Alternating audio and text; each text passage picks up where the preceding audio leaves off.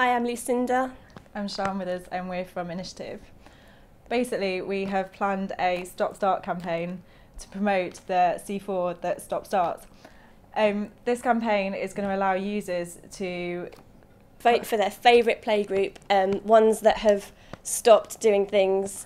inefficiently and promote those who have got you know the best facilities in the world and also allow them it's a basically a campaign that uh, that's focuses on the local community but it's played out at a national level but within oh that makes no sense No, it's just a national. It's a national competition to find the best playgroup, but within local media. So each time your local playgroup goes through, it goes into a new story. Everyone follows it, and um, the end prize is twenty five grand. So to invest back incentive. into your play group hopefully driving people to book a school run.